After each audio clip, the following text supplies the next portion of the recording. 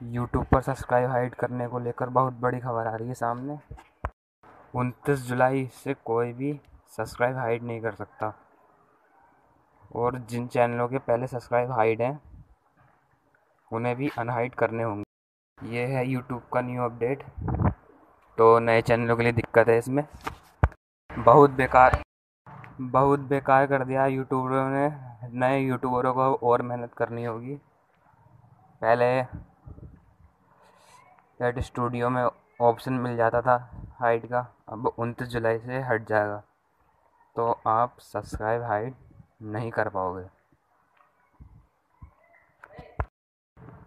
तो रोने वाली बात तो है ही दोस्तों ये।